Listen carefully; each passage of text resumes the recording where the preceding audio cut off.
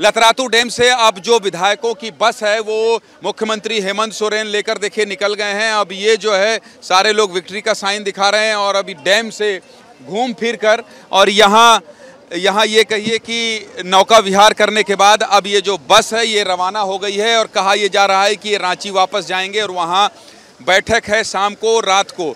लेकिन ये कैसे माना जाए कि ये रांची ही जाएँगे? रांची पहुँचने के बाद जो अपडेट होगा वो अब वो भी आपको दिखाएँगे।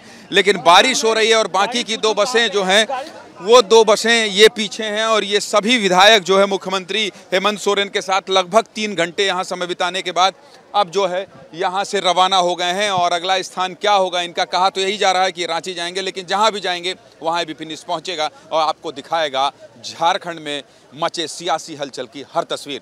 कैमरा पर्सन दुर्गेश साहू के साथ ज्ञानंद तिवारी, एबीपी न्यूज़।